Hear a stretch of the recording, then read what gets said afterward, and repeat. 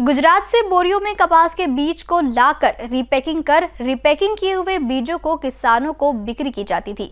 दो सौ छियानवे बोरी बीज जब्त की गई है। पुलिस ने एक ट्रक भी इसके साथ जब्त किया है। रात से ही पुलिस, कृषि व राजस्व विभाग के अधिकारी मौके पर पहुँच गए थे। पुलिस ने आधी रात में कार्रवाई की। अभी भी कार्रवाई जारी है। सेवाग्राम पुलिस ने इस मामले में छह आरोपियों को हिरासत में भी लिया है। बोगस कपास के बीजों को रीपैकिंग कर चंद्रपुर, भंडारा, गोंदिया और नागपुर भेजा जाता था। सेवाग्राम पुलिस स्टेशन के तहत महासाला में कार्रवाई एक घर में गुजरात से बोरियों में लाए बीजों की छोटे पैकेट में रीपैकिंग की जाती थी। अलग अलग नामों से पैकेट तैयार करके बिक्री किए जाते थे। प्रशासन की ओर से पंचनामा कर मुकदमा दर्ज करने की प्रक्रिया प्रक्रिया शुरू कर दी गई है। जिला पुलिस अधीक्षक ने आधी रात को घटना स्थल को भेंट दी। तहसीलदार रमेश कोड़पे कृषि विभाग के अधिकारी, स्थानीय अपराध शाखा के पुलिस निरीक्षक संजय गायकवाड़, सावंगी थानेदार धनराजी जड़क पंचनामा कर रहे हैं।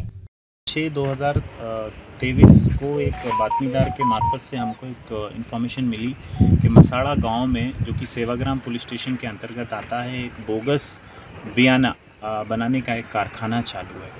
तो इस पर सेवाग्राम पुलिस स्टेशन के टीम और एलसीबी लोकल क्राइम ब्रांच की टीम ने मिल के उस पर रेड की। रेड करने के बाद देखा तो वहाँ पर बहुत ही धक्कादायक चीज़ें सामने आई, जिसमें कि एक पूरा का पूरा कारखाना जिसमें वर्कर लगे हुए थे, वो वहाँ पे चल रहा था। उस कारखाने में मोट, एक, ये कारखाना जड़ पास एक महीने से चालू था। डिफरेंट डिफरेंट uh, नामी ग्रामी uh, जो बीज बनाने की कंपनी है बीटी कॉटन बनाने की जो कंपनी है उनका बोगस सीड uh, बनाया जा रहा था। डिटेल में जब इन्फॉर्मेशन ली तो आरोपी ने बताया आरोपी का नाम राजू जायसवाल है।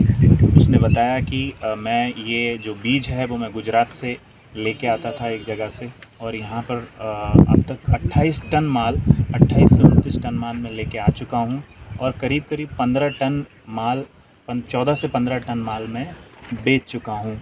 इसने ये जो माल है डिफरेंट डिफरेंट जगह पे बेचा है। वर्धा यवतमाल नागपुर अमरावती आसपास भंडारा जितने भी ज़िले हैं विदर्भा के आसपास के सभी ज़िलों में इसने ये माल बेचा है। कृषि अधिकारी की तकरार पे environmental protection act act seed act trademark act IPC 424, 68, 471 के हिसाब से पंद्रह लोगों पे इसमें नामजद एफआईआर की गई है।